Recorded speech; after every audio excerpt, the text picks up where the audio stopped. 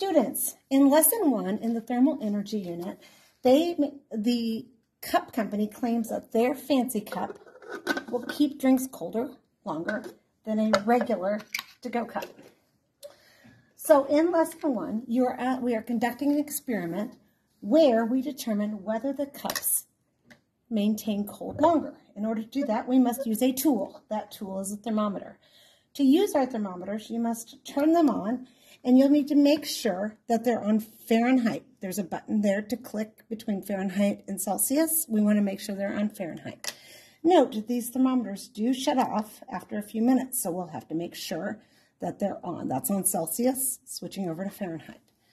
What we will do is in order to conduct an experiment, we've got to have some constants, things that are the same. So although these cups do look different, they both hold 16 ounces of water.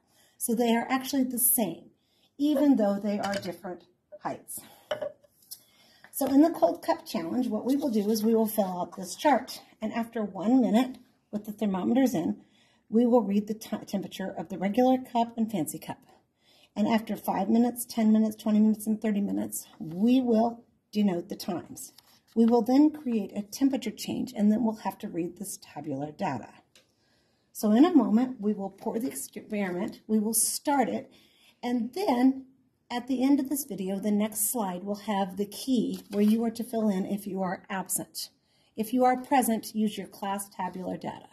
So to make sure we have a correct experiment, we are going to use the same ice water for both cups. We're going to pour the water in both cups. Again, 16 ounces of water, and this is ice water. And 16 ounces here.